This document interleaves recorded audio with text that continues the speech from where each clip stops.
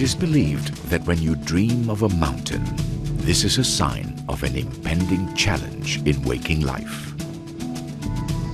For Salihin Sinai, who was born with an intellectual disability, the mountain and the dream are one and the same.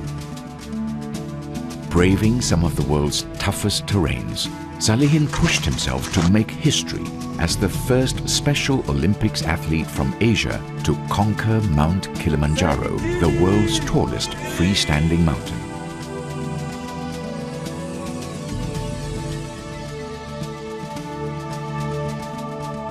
Salihin's teammates included Special Olympics volunteer Yeo JC, Tanzanian Special Olympics athlete Harith Suleiman, the group's de facto leader mountaineering enthusiast Michael Dee. His sons Matthew, Christopher and David.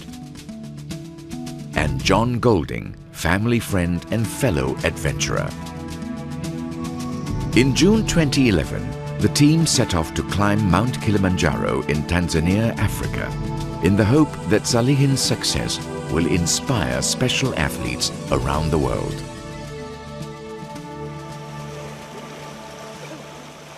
24-year-old Salihin was born with an intellectual disability. This means he faces limitations in everyday activities such as abstract thinking and communicating with people. The hike up the roof of Africa would be his first mountaineering experience, and Africa an unknown continent. It would be Salihin's biggest challenge to date in every way.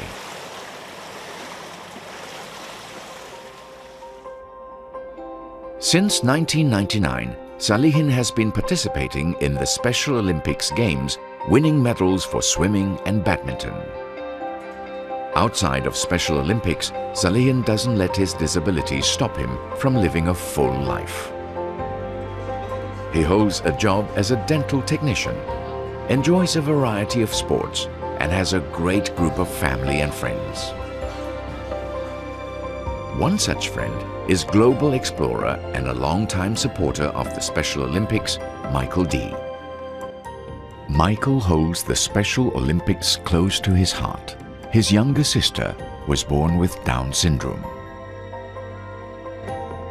She's 45 now, and she's been doing Special Olympics since she was 10 years old. And during that period of time, she's gained tremendous confidence, friendships, relationships, a self-confidence to live on her own and it literally changed her life. In 2002, Michael relocated to Singapore for work and soon after became a permanent resident. Throughout the years, he has been an active supporter of the Games. In 2010, Michael raced through the Atacama Desert to raise funds for the Singapore team to participate in the World Summer Games. He also helps out by training runners from this contingent. One of them was Salihin. In his training sessions with Salihin, Michael was impressed by Salihin's mental and physical strengths. When Michael and his children were planning to climb Mount Kilimanjaro, they were determined to turn the climb into more than just another family vacation. Michael decided to invite Salihin along for the climb. A lot of people have said to me, isn't it risky taking Salihin with you? And I say no. In fact, it's going to be tremendously enhancing. Uh, I think it'll be good for my boys, it'll be good for, uh, good for me, and it'll be good for him.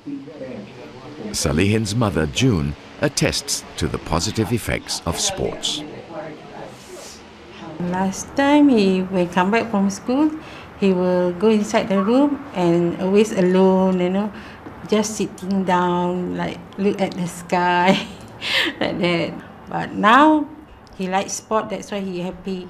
He's a confident young man now. He's learned to speak up. He's learned to have some opinions of his own when, when he has you know, a view to share. And, and that I think is really important because it is not just the sports we're talking about. It is the development of the individual. JC has known Salihin for the past eight years. He believes that Salihin's reduced ability to think abstractly may prove to be a blessing in disguise. Unlike some of his teammates who can anticipate problems during the climb, Salihin's condition cushions him from experiencing any fear. But physically, JC must help ensure Salihin is fit enough for this adventure.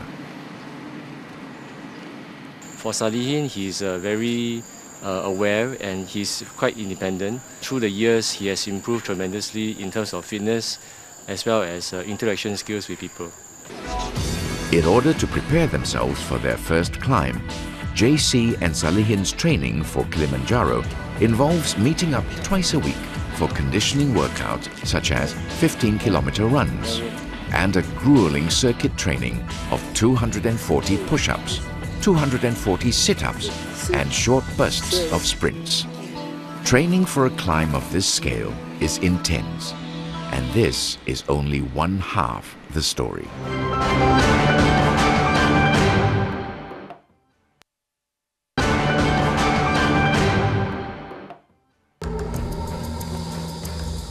Once a week for the last three months, the team has been meeting for intensive 10 kilometer hikes up Bukit Timah Hill.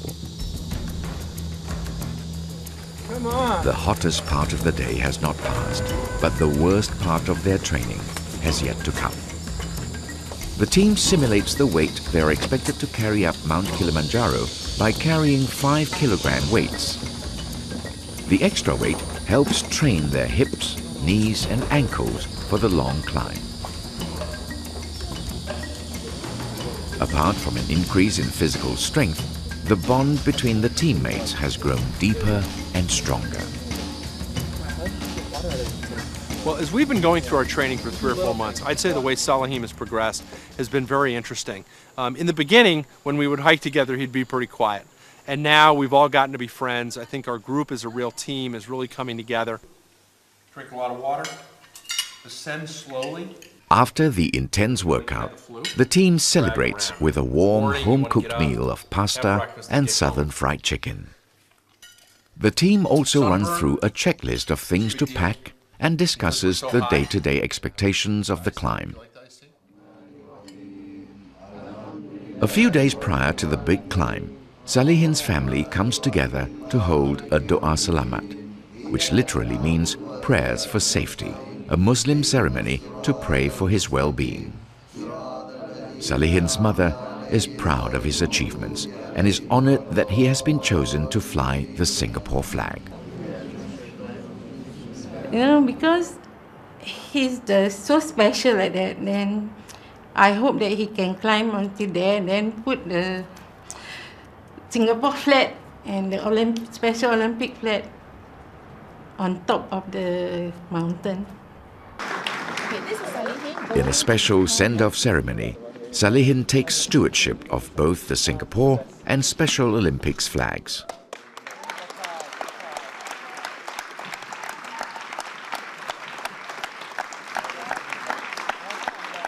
Uh, I'm very excited because I cannot wait to go to Mount Kilimanjaro. I want to try to climb the mountain, how they feel like. Like Salihin, the entire team is excited and apprehensive. Ahead of them lies the unknown as they begin their first steps to the top. With no direct flight to Tanzania, where Mount Kilimanjaro is located, the team must take a seven and a half hour flight to Doha before traveling another five hours to Nairobi, Kenya. They will then drive from Nairobi to Arusha, the closest town to Mount Kilimanjaro in Tanzania.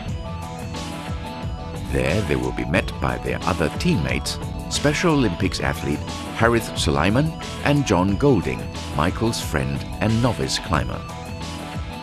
In a symbolic gesture of reaching out to Special Olympics athletes elsewhere, 23-year-old Harith has been invited to represent Special Olympics Africa. This marks the first climb for Salihin, Harith and 59-year-old Jon. All right, here we are. We're in Tanzania, just about to go through border control, and in two hours we'll be at the foot of Kilimanjaro. Woohoo! We're getting there. We're getting there, one step at a time. During the course of the six-day climb, Salihin and the team will hike for 30 hours, cover a distance of over 60 kilometers, and progress through five climate zones, from the humid rainforest to the cold, freezing Arctic. Kilimanjaro stands at a colossal 5,895 meters, with five routes to the top, namely Marangu, Machame, Rongai, Umbwe, and Lemosho. The team has chosen to climb the remote Lemosho route, which guarantees extraordinary views of dramatic gorges on various sides of the mountain. To get to Uhuru Peak, the team must make their way through a series of base camps. Lava Tower, Arrow Glacier, and the daunting Great Western Breach. It will not be an easy climb. I talked to Salihin about this, I talked to my boys about it. If we're going to do it, we're going to do it the hard way. These boys have real grit, they have real tenacity, and they want to go the route that is the most meaningful and really has um, uh, a sense of achievement to it. So, why make it easy? Unlike the rest of the team who have come from afar, Harith is from Tanzania. Even though this will be his first mountaineering experience, the steep vertical climb is the least of his worries. He waits in trepidation to see if language will be a barrier that will separate him from his new teammates. No such thing happens.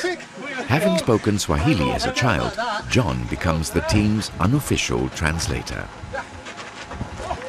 Between bits of English, Swahili, and the international language of soccer, the motley group of individuals becomes a team. Today, the team has reached Arusha, Tanzania. Their drive takes them to Londorossi Park Gate, located on the western side of Kilimanjaro. This is their starting point.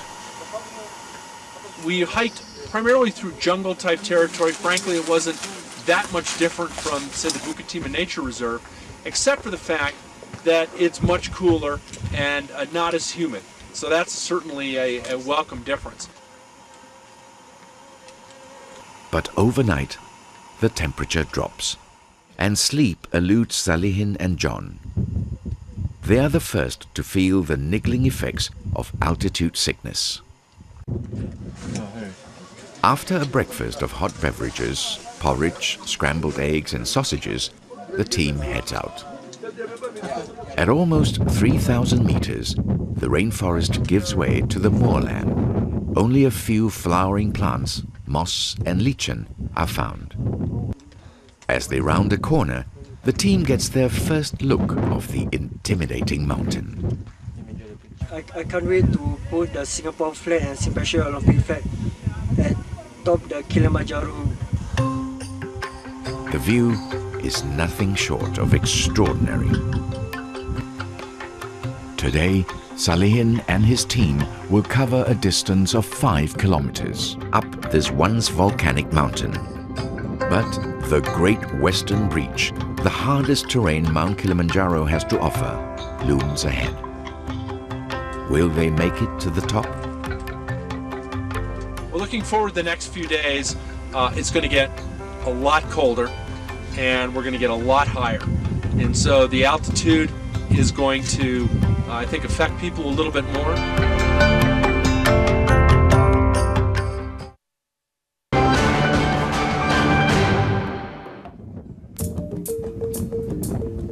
Having completed 4,356 meters of the hike so far, the team surrenders themselves to the thin alpine desert air. Blinding glare and a wide temperature range characterize the alpine desert. This is our third climate zone. And you see a lot of these bushes with uh, white flowers. Like there's an example right there. Right? A few yellow flowers here and there. But now it's much more rock that's been strewn out from past volcanic eruption. The team goes through the cloud layer and hike up Lava Tower. They ascend very slowly, with a seven-hour climb stretching ahead of them. Harry, strong like Simba. Yeah. He's a big chatterbox. Talking to all the porters and guides. Salihin, however, is in a less happy position. Salihin uh, did very well initially, uh, but when we reached uh, Lava Tower, he seems uh, tired. And when we continued, uh, he seemed to have problems uh, traversing over the uneven rocks and steep slopes. Uh, yeah, and uh, right now, he's showing some symptoms of uh, altitude sickness, like uh, headaches and, uh, and uh, stomach aches. The quantity of breathable oxygen up at these heights is less than half the amount Salihin is used to breathing back home in Singapore.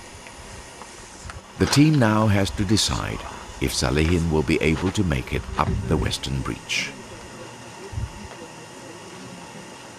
Right now, I've been uh, asking him, been asking him to drink more water, been adding uh, like fruit mix into the water so that um, it be uh, better for him, and uh, as well as uh, to get lots of rest now. Ultimately, the decision will be made by the lead guide, Patrick Stanley. The decision about Salihin will make tomorrow morning because right now he's just having I mean he's having having a rest and he's okay by now but late tomorrow then we will know what we can do. Today marks the toughest part of the climb. Despite a sleepless night and waking up with a stomachache, Salihin somehow feels stronger. Patrick has pronounced him fit to climb.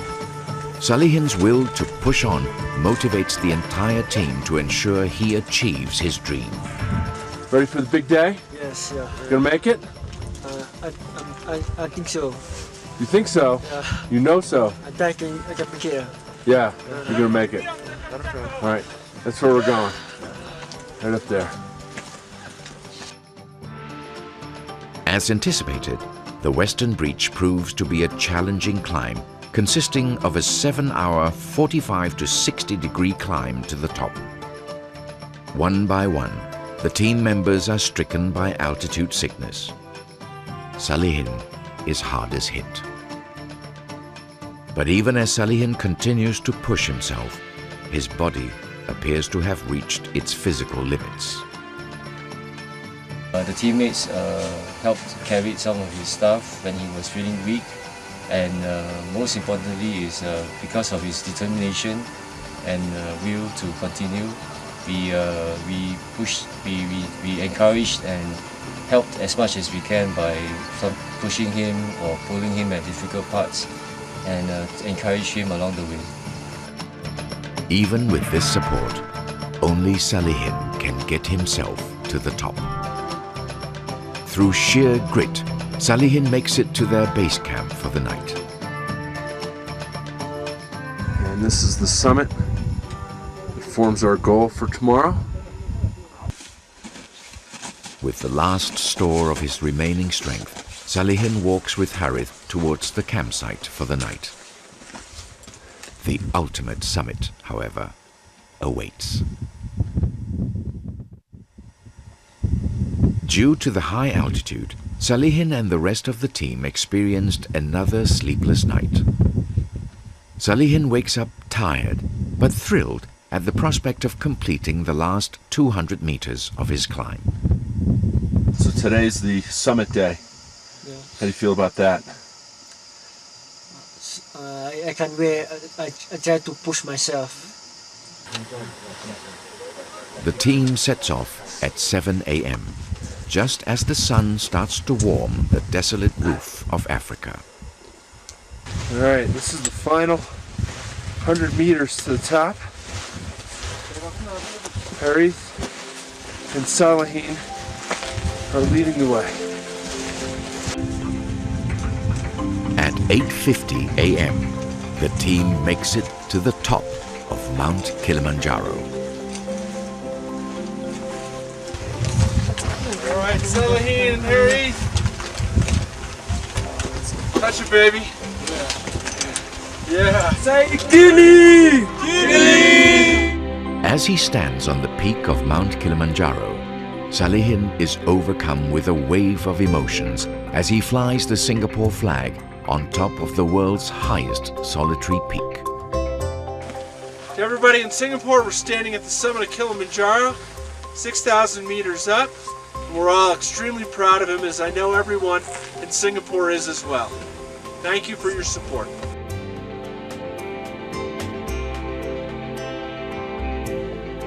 As the day draws to a close, the team slowly makes their way down to their campsite for their final night on the mountain. For the team, there is no greater satisfaction than the knowledge that they have been part of a global message to show the world that within each intellectually disabled person lies great potential and courage.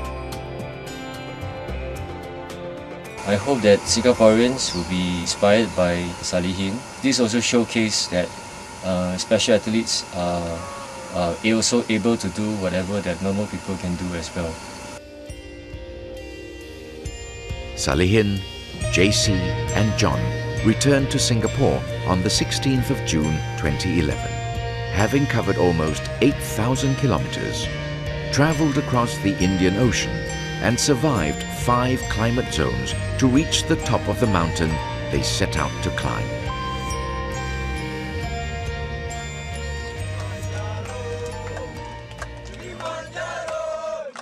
Honor and personal glory may be reasons why some people climb mountains. But for Salihin Sinai, his achievement may well go beyond personal glory and self-actualization.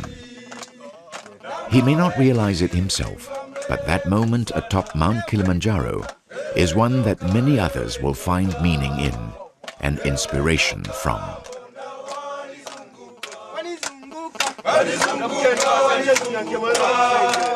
Walizunguka wataka kulila nyama, kulila nyama, kulila nyama, kulila nyama. Join us, join us, join us.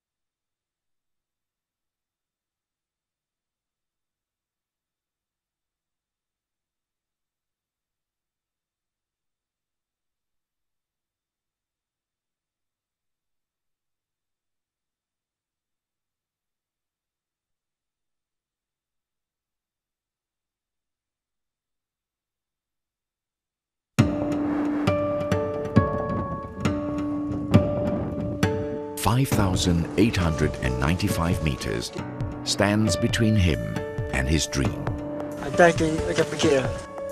A display of extraordinary courage in extreme conditions as he becomes the first Special Olympics athlete from Asia to conquer Mount Kilimanjaro. Monday at 9.30 p.m.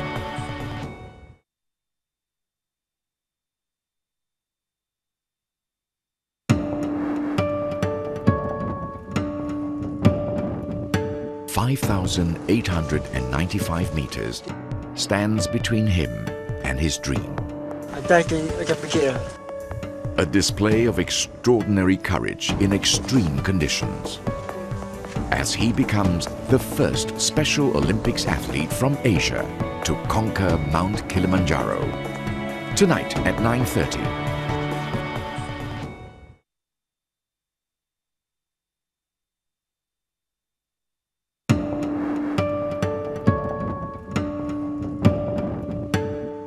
Five thousand eight hundred and ninety-five meters stands between him and his dream. Antara macam fikir lah. A display of extraordinary courage in extreme conditions. As he becomes the first Special Olympics athlete from Asia to conquer Mount Kilimanjaro.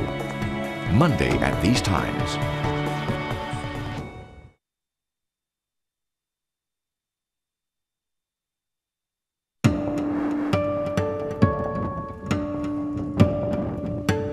Five thousand eight hundred and ninety-five meters stands between him and his dream. I can, I can fikir. A display of extraordinary courage in extreme conditions. As he becomes the first Special Olympics athlete from Asia to conquer Mount Kilimanjaro. Tonight at these times.